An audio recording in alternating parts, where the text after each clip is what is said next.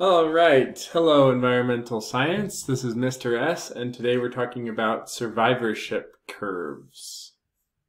So, um, these are the three different types of survivorship curve that we'll be talking about.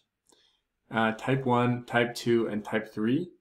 And these correspond really closely to what we already learned with R and K selected species.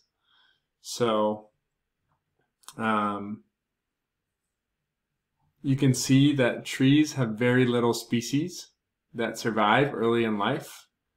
Um, and then they tend to survive a lot more once they've gotten older. They survive a lot better. So a lot of them die due to sunlight not getting in, um, lack of water. They wait for the perfect circumstances. And a lot of them don't make it.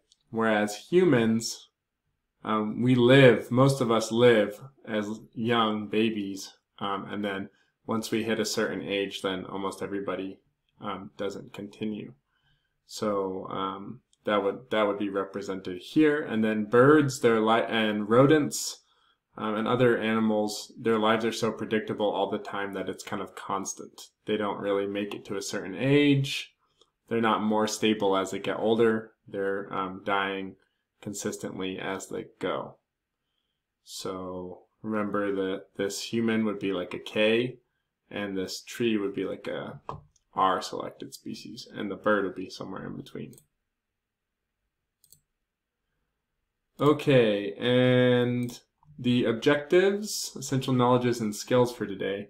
Um, we want to be able to explain survivorship curves. Um, and the essential knowledge is that a survivorship curve is a line that displays the re relative survival rates of a cohort a group of individuals of the same age in a population from birth to the maximum age reached by any one cohort member.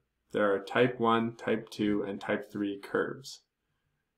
And survivorship curves with diff curves differ for K-selected and R-selected species, with K-selected species typically following a type 1 or type 2 curve and R selected species following a type 3 curve.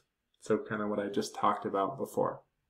And then at the end, you're going to be practicing a um, data analysis skill by explaining patterns and trends in data. Okay, so like I said, a survivorship curve is a line that shows survival rate of um, a cohort or a group of the same age individuals in a population from birth to death. So the faster the drop in line is the quicker the die-offs of individuals. Slower the drop in line, the longer average lifespan. So you can see that like a whale, it lives really old and gradually they start to die of old age. Chipmunks, they kind of die um, periodically throughout, whether they're babies are older. And then just like the tree, these dandelions, a lot of them die when they're really young and then um, their survival kind of tapers out here. Like they get to a certain age and then that's it. That's as old as they get. Um, and these are all relative to what the age will be of the animal. So squirrels don't live very long, but this is relative to how long they live and how often, what ages they die at.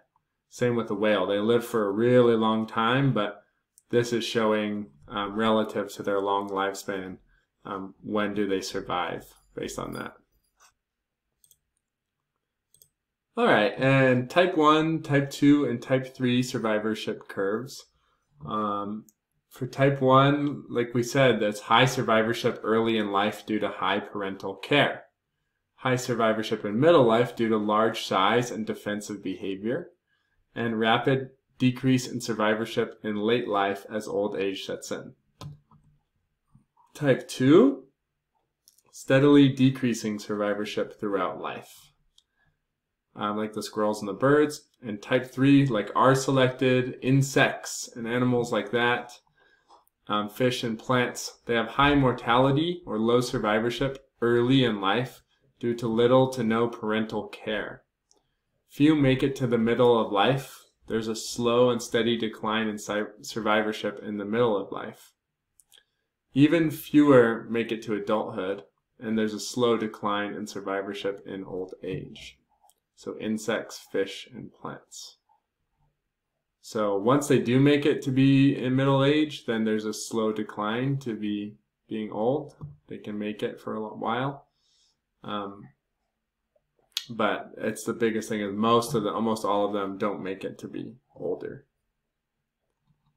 Um, type 1, K selected, remember, and type 3 R selected. All right, and a little bit about carrying capacity, although we're going to get into it in the next subject. Um, this is determined by the biotic potential, or the maximum reproductive rate of a population in ideal conditions. So how many children can they have compared to how many eh, organisms die? And also environmental resistance. So as population reach it, reaches carrying capacity, the growth rate decreases because resources become more scarce among other factors. So what happens to mortality and what happens to fecundity? Um, these are, this would be an organism that just exploded over time. We call this exponential growth when it's just constantly going up. And this would be a population size that reaches a carrying capacity where it goes up exponentially and then eventually goes down. So this where the line levels out is the carrying capacity.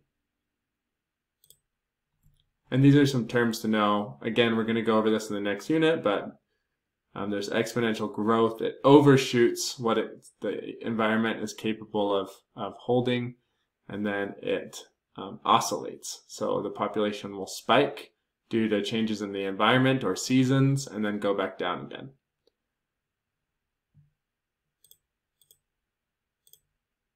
Okay, and um, we're going to try a free response question um, to look at this graph, and you're going to describe the trend in survivorship shown in this graph and justify which type of survivorship curve these data represent. So that will be in the Nearpod on the next question.